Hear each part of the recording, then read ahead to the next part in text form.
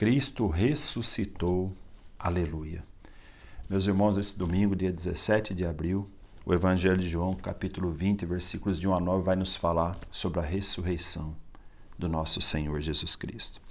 Hoje nós celebramos esse grande mistério, que é o fundamento da nossa fé.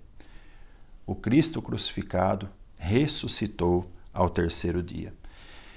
E é importante compreendermos que a ressurreição de Jesus não é uma teoria, uma fábula, mas uma realidade testemunhada por muitas pessoas, entre elas os apóstolos. Eu quero ler para vocês Atos dos Apóstolos, capítulo 10, versículos 40 a 41, onde Pedro vai testemunhar isso ao povo de Israel.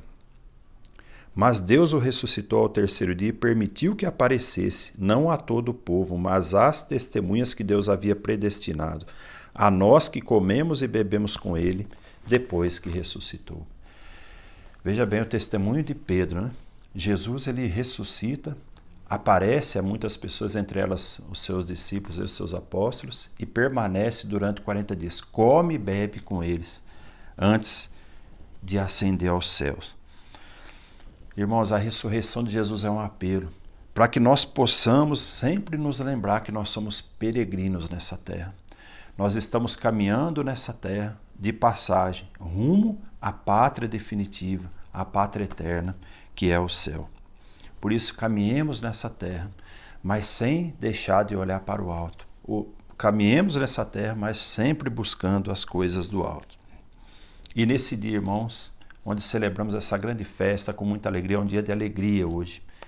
Que nós possamos realmente festejar, comemorar, mas acima de tudo, que nós possamos também ressuscitar com Cristo para uma vida nova.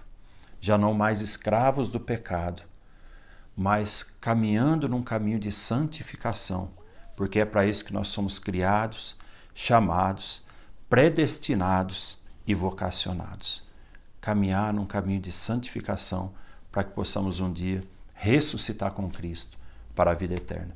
Um santo e abençoado domingo a você, uma semana abençoada a toda a sua família. Em nome do Pai, do Filho e do Espírito Santo.